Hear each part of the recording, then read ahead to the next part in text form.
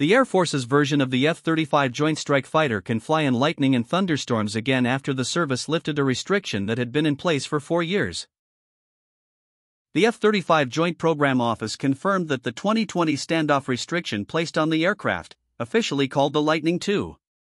The military stopped F 35s from flying within 25 miles of Lightning after a problem was discovered with its onboard inert gas generation system, which is meant to keep the jet safe from strikes.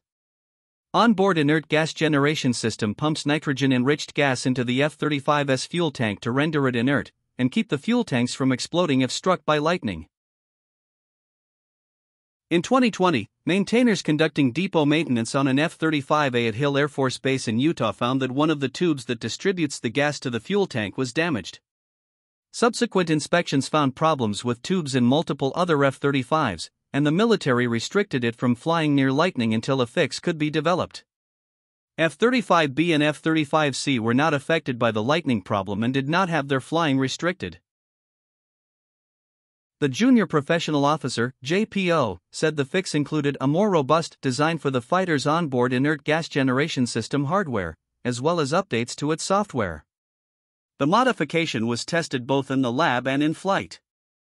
It credited government and industry engineers for finding a solution to the lightning restriction problem. The JPO declined to further detail how the system was fixed, or how many F 35s have been modified, due to operational security concerns. The JPO said the fix restores operational capability, while providing additional safety for the pilots and aircraft.